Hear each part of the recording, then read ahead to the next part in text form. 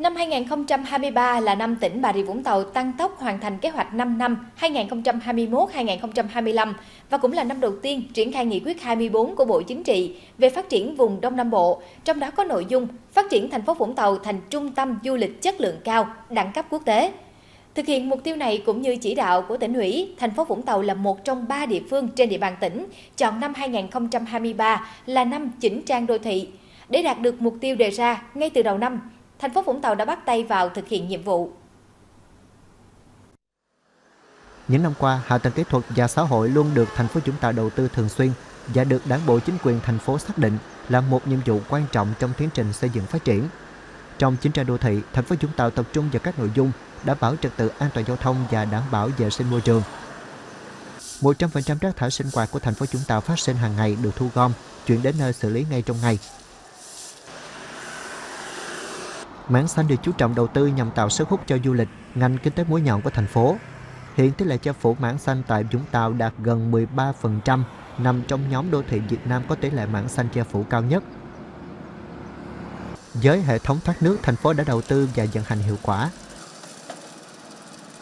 100% tuyến đường với tổng chiều dài 320 km và 155 tuyến hẻm toàn thành phố đều đã được trải nhựa hoặc bê tông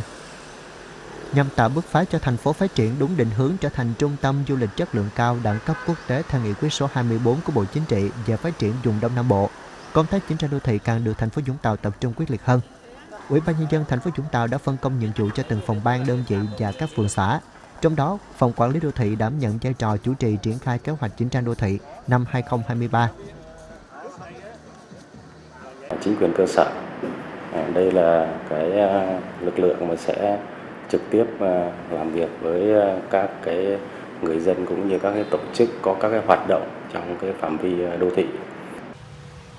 Năm chính trang đô thị thành phố Vũng Tàu tập trung vào 6 nội dung: tạo cảnh quan không gian tại các khu vực bãi biển công viên, xử lý dứt điểm các điểm đang ô nhiễm môi trường, duy trì trật tự đô thị, hoàn tất thủ tục triển khai các dự án hạ tầng giao thông trục chính, ứng dụng khoa học công nghệ trong quản lý đô thị, xây dựng nếp sống văn minh đô thị,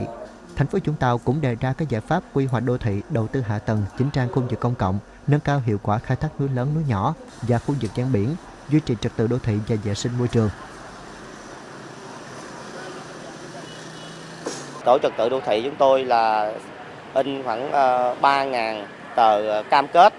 cho tất cả các hộ dân mua bán trên địa bàn và kể cả các hộ dân mà à, dọc các tuyến đường là, là hay ờ, thường xuyên là lấn chiếm vỉa hè lòng đường nhất là chợ tự phát cái ờ, điểm buôn bán tự phát. Tất cả các hộ là không buôn bán lấn chiếm lòng lề đường cũng như các hộ có nhà đất ở mặt tiền sẽ thực hiện cái việc là cam kết là không buôn bán và lấn chiếm lòng lề đường. Đồng thời là cũng vận động là các hộ để xe các cái phương tiện Ờ, khi mua bán là đúng nơi quy định mà tránh cái tình trạng là cản trở ờ, lối đi.